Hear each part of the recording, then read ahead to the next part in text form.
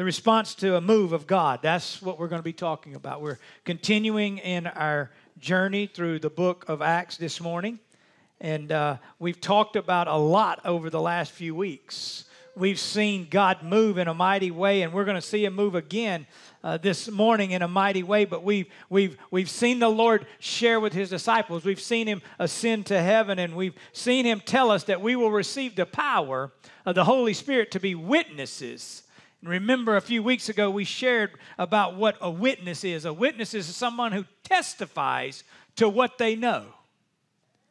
And, and we talked about the only two things that will that is causing or, or hindering us from sharing is one or two things either a fear of sharing and, and no urgency to share or we haven't experienced anything therefore we can't testify about something that we do not have ourselves and so I pray that you are witnessing to the testimony of Jesus Christ in your life.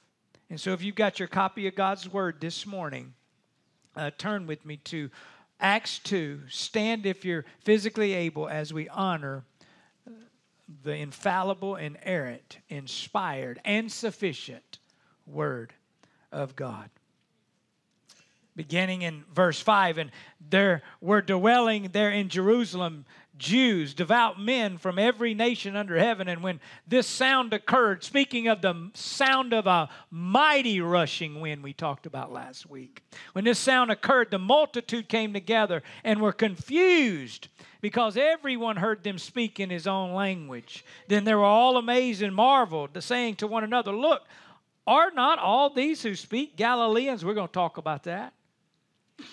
And how is it that we hear each in our own language in which we were born? Parthians and Medes and Elamites, those dwelling in Mesopotamia, Judea and Cappadocia and Pontus and Asia and Phrygia and Pamphylia and Egypt and parts of Libya and joining Cyrene and visitors from Rome, both Jews and proselytes, Cretans and Arabs. We hear them speaking in our own tongues the wonderful works of God. Hallelujah for the wonderful works of God. And so they were all amazed and perplexed, saying to one another, Whatever could this mean? But look, others mocking said, They are full of new wine. Would you pray with me? Father, in Jesus' name, Lord, speak to our hearts. Lord, encourage us this morning that when you do something supernatural, we don't need to figure it out. We're not smart enough to figure it out. Our intellect won't let us figure it out. Sometimes we just need to look and say, Thank God that you did move. Lord, move in a mighty way in Jesus' name. Amen. You may be seated. Here in chapter 2, the book of Acts, we've talked about as a turning point. The history of the kingdom of God in Acts 2 records the birth of the church. God is about to do something special. He's getting ready to do something unbelievable. And we saw it last week when they all came together and they heard a mighty rushing wind. And then now we are going to see it is that they are speaking in languages, some 15 nations of different languages being spoken. And so I want to share with us this morning, if we have time to get through it, three things in, this, in, the, in the scripture. If we don't, we'll just catch back up next week. But the first thing we see is this event. This event happening. We've talked about it over the last several weeks, but Pentecost means 50th. 50 days after the Passover, the Feast of Pentecost was celebrated. And it says people came from every nation under heaven, the Bible says. See, God's assembled here a great multilingual Jewish congregation from all nations where Jews had been scattered and dispersed. And look, they are referred to as devout men. Now, that's interesting when you study that word devout. It means to give honor to, to literally not want to offend God. I just wonder if many of us could be, could be characterized as devout, a, a sense of not wanting to offend God. Can I tell you what offends God? Pride offends God. When you start elevating yourself to where you feel like you something else, can I tell you, you ain't all that in a bag of potato chips, I promise you. You ain't all that. I'm not all that. When we start elevating ourselves, God snubs his nose. He says, I don't want to smell that. How would it be that we would be called devout? And devout just doesn't mean, you know, looking like we want. Listen, we can come and fake it for 90 minutes every Sunday morning. It's more about what are you doing Saturday through the rest of the week. And two, by the way, I see folks in the church. Listen, y'all ever notice this? I see sometimes folks act up more in the church on Sunday than they act up on, on Monday through Saturday. They get unhappy in there and act like they don't know how to act. Y'all all right? I can tell you this God doesn't like that. He won't bless that. And these folks were devout. They didn't want to offend God. They, they, listen, they had found their way back to Jerusalem. They did it a couple of times a year in the annual feast. By the way, it's because of the New Testament fulfillment of the Passover, the fulfillment of the Passover, that we are even assembled here today. This great occasion, this event that brings us together here this morning is the death, burial, and resurrection of the Lord Jesus Christ. That is the only reason that we have come together to worship the Lord this morning. It's not for good music, it's not for even good preaching. It is to celebrate the death, the death, burial, and resurrection of the Lord Jesus Christ. That's the reason we're here. That's the reason we've come together. That He conquered death. He died on a cross. He conquered hell, He conquered death, He conquered sin, and He's alive today. And all over the world, people are gathered here. Listen, all over the world this morning, people are gathered for the intense purpose to celebrate Jesus Christ. That ought to, right there ought to be enough for you to get excited about this morning. And so we see this event, but not only do we see this event, we see the experience. How many times do we go to an event and we leave and we go, I didn't really get anything out of that event? That, that is a personal problem.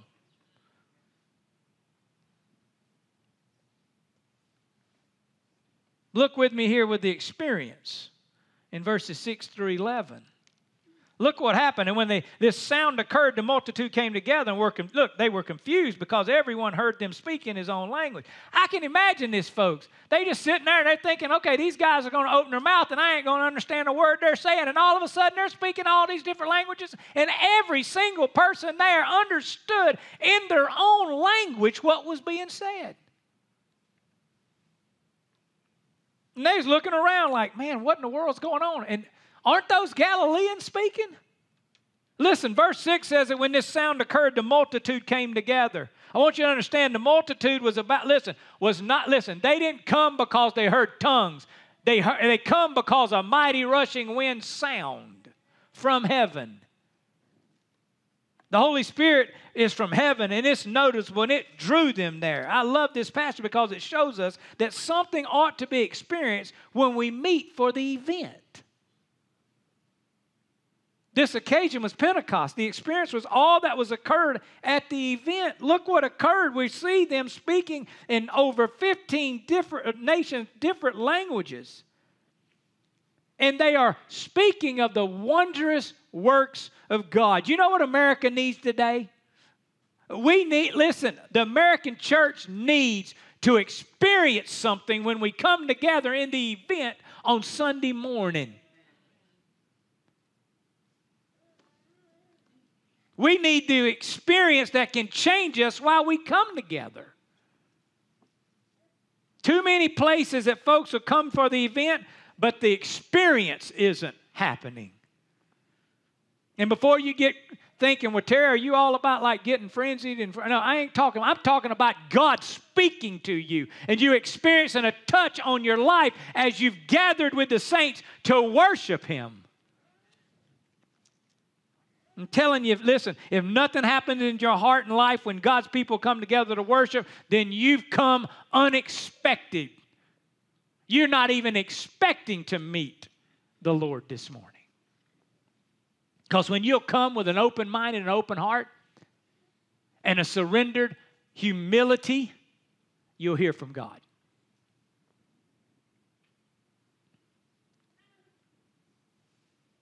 See, at Pentecost, God used sound, He used sight, and God used speech to get the people's attention.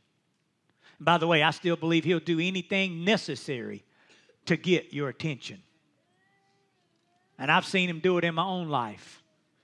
You start getting, your feet start getting too high off the ground, He'll humble you in a second. He'll say, Oh, oh, you, you're getting too big for your britches. I'll cut you down a size or two. Y'all know what I'm talking about? You ever been there? He'll do anything necessary, anything and everything to get our attention, to draw us into a relationship with Him. See, the heavens declare the glory of God. It says they were confused because everyone heard them speak in their own language. Did y'all know there was a time? Did y'all know there was a time when everyone spoke the same language? Did you know that? Read your Bibles.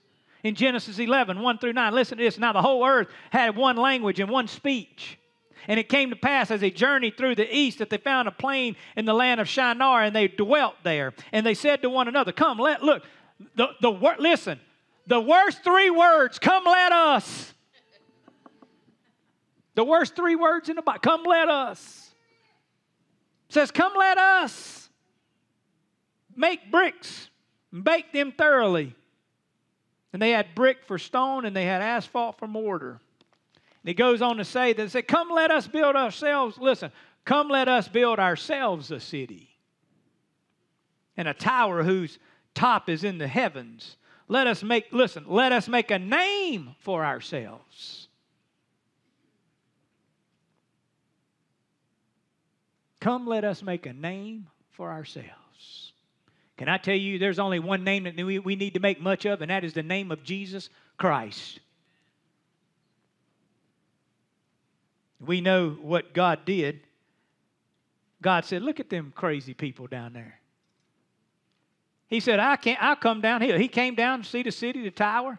I'm sure he was amazed at it all. I promise you, he wasn't amazed a bit. There ain't nothing man can make. Listen, there ain't nothing man can make that'll amaze God. Because he made it all by just speaking.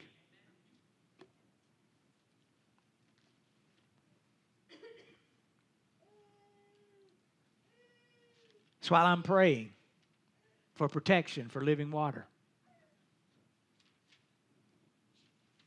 So I pray the protection that God would keep us from those three words Come, let us. So I'm praying that, look, we just got, we just voted last week to take ownership of this property uh, from Colfax Baptist Church, and thank God for how He's moving. But can I tell you, I'm, I'm, I'm concerned in my spirit. Listen, I know that there's things that'll need to be done to this building, but can I tell you, the first thing that needs to be done is we need to be a surrendered people inside this building. So when we are surrendered and humble, listen, and humble, then we'll be able to step outside this building and folks will say, Look at them folks. They love the Lord. They're making much of Jesus, and I need to be a part of that. And I can tell you, this building, no matter what we do to it, we can't make it attractive enough for folks to come in. They'll only come in because they sense something different about us. Y'all all right? I'm listen, I've been fired up this week. Because I'm telling you now, I, listen, I promise you with all my heart, with all my heart, you're looking at a flawed man. I am not perfect. But I will do anything, listen, and everything to protect this church from anything that harms the work of the Lord Jesus Christ. Amen. Anything. And I'll have a word with anybody. Y'all all right? Mm-hmm.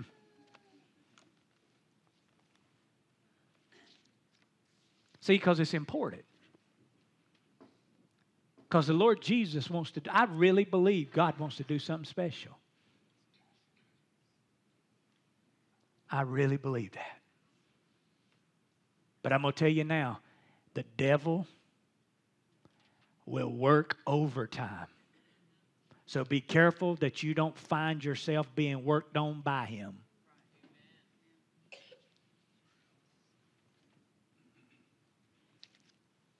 It's amazing what God will do with the church that seeks to make much of Jesus Christ. Amazing. Anybody in here beside me want to see him do something amazing?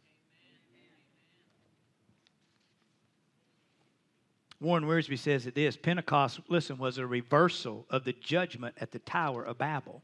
So we know God come down and confused the language, and they didn't even, they couldn't even, the folks that was saying, come let us, they couldn't even understand each other after God got involved. He just scrambled them up. God, the, the, the Pentecost was a reversal. See, God's judgment at Babel scattered the people, but God's blessing at Pentecost united the believers in spirit. And at Babel, the people were unable to understand each other, but at Pentecost, men heard God's praises and understood what was being said. The tower, this is what Warren Wiersbe, great commentary. The Tower of Babel was a scheme designed to praise men and make a name for men. But Pentecost brought praise to only God. The building of Babel was an act of rebellion, but Pentecost was a ministry of humble submission to God. What a contrast. And so uh, Pentecost was a reversal. And then we see in verse 7, look, we see another, look. And there were amazing marvels saying to one another, look at, aren't, aren't, listen, are not all these who speak Galileans? Listen, that resonates with me because I'm from a small hick town. See, Gal- Galilee was a hick, Hickville. I like to think of it. They were all amazed. It's almost like a little slur. I mean, looking at these mighty things God's doing, a mighty rushing wind, these men just spoke in language of over 15 nations, and we heard our own, look, and they heard their own language in the process. And they're saying, Did y'all notice it was Galilean speaking? I mean, why did it make a difference who God was using? Why did it make a difference who God wanted to work through? I mean, look, he used a donkey to speak used a rooster to speak. Remember, the rooster reminded Peter of Christ's words. So if he'll use a donkey and a rooster, can I tell you, to encourage you today? He can use you.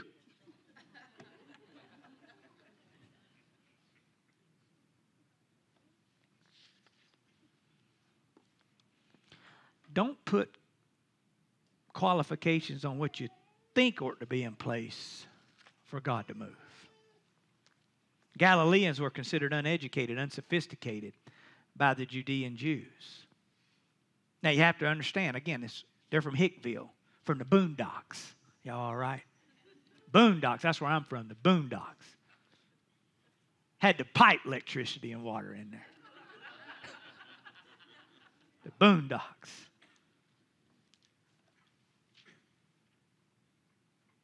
And look, the only people that lived out there in the boondocks in Galilee were uneducated, uninformed farmers and people and who just weren't really the they weren't in the cultural flow. Y'all remember Philip when he found Christ? Went to tell Nathanael he had found the Messiah, Jesus of Nazareth. Remember Nathanael's response? Can anything good come out of Nazareth? Nazareth, a city of Galilee. Nothing can be done by someone who's from there. I mean, I know how, look, I know how these folks must have felt coming from a little obscure town of, of no, no notoriety, no value. Can I tell you, it doesn't matter where you're from and it don't matter what your last name is. If you belong to the Lord Jesus Christ, He can and will use you if you'll let Him. He chooses to use who He wants to, and many times He chooses to use the nobodies.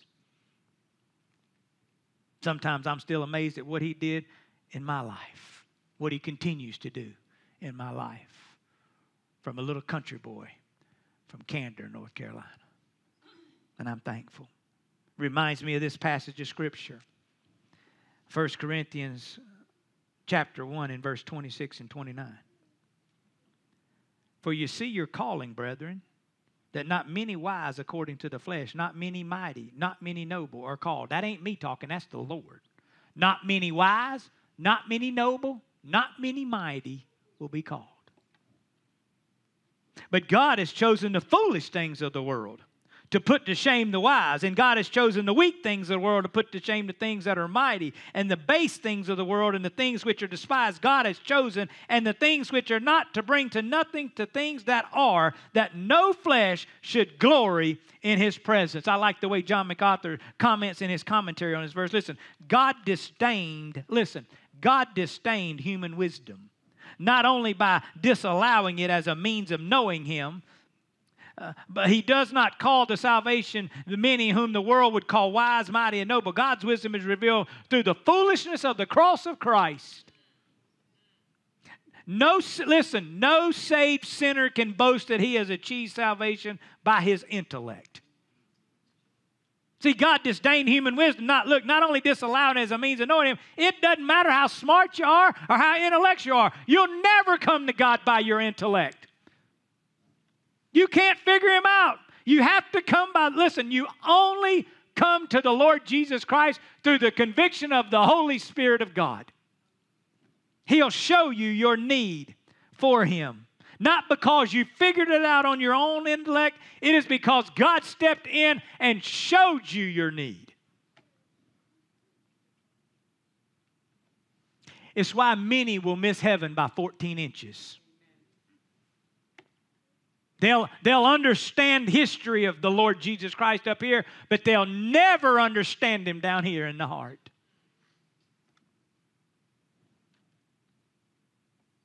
See 1 Corinthians chapter 1 and just a couple of verses before verse 26 in verse 21. It says, For since, listen, in the wisdom of God, the world through wisdom did not know him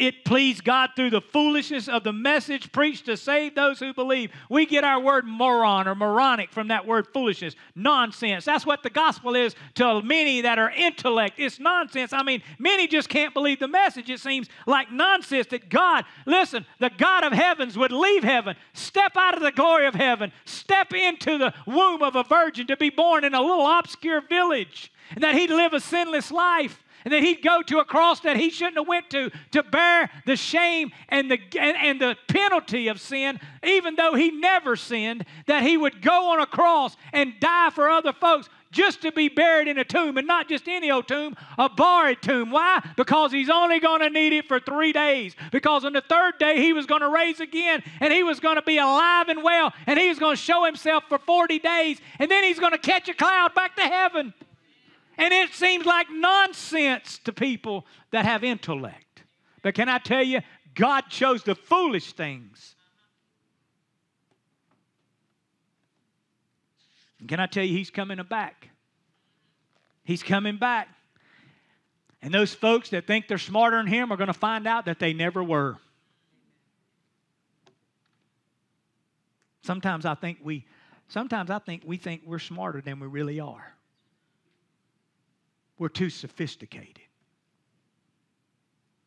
And can I tell you, in our sophistication, we've shut out the Holy Spirit because we're too dignified to get excited about what God's doing. You can take your dignified sophistication to the cross, and it will humble you. I mean, look, we'll hoop and holler and yell at every other event, but get us in church and we're quieter than a church mouse.